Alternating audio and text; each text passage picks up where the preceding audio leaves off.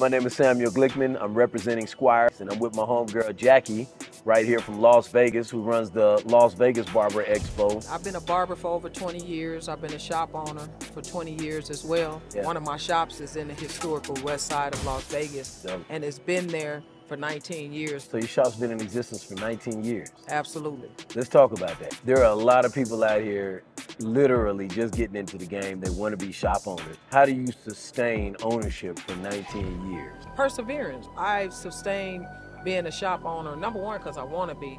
Number two, because it's in me and not on me. Yeah. You know, a lot of times we open up shops just because of what the next person is doing or what the next person say you can do. You know, I did it based on who I am and what I knew I can and cannot do. Mm. You know, if it's something that I can't do, it doesn't matter who else is doing it, who else want me to be a part of it. If I can't give it my all 100%, I don't even touch it.